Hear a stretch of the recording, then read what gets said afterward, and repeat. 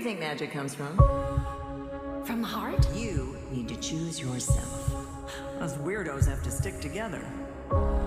This is the end. Perhaps this will be easier than I thought. Let me show you some of my favorite games. You have to